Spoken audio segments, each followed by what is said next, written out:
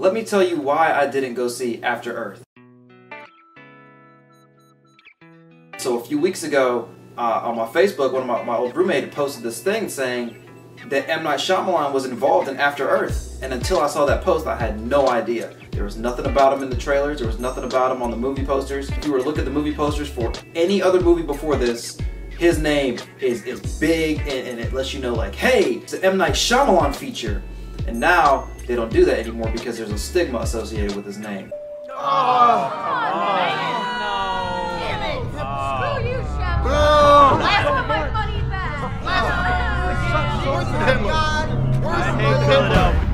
Everyone groaned when they saw my name. I. I don't understand. Maybe people don't like your movies anymore? Two of M. Night Shyamalan's movies are on my top five worst movies of all times, including The Village and The Happening. I, I do own those movies, but I own them for the purpose of uh, unintentional humor. We're fine right now. Nothing's happened out here yet. I mean, you can see that. Just listen to our voices. We're perfectly normal.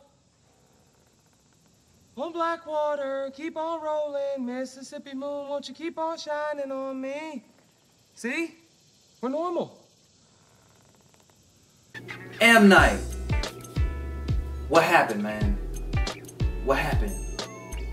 This is a Will Smith summer blockbuster. And Will Smith has had a summer blockbuster hit year after year after year, uh, starting in 96 with uh, Independence Day. Starting with in 96 with Independence Day, Will Smith has had a string of summer blockbusters. Not to say movies that come out other times during the year, but during the summer, Will Smith plus the summer equals bank. Opening weekend, even Wild Wild West made more money than After Earth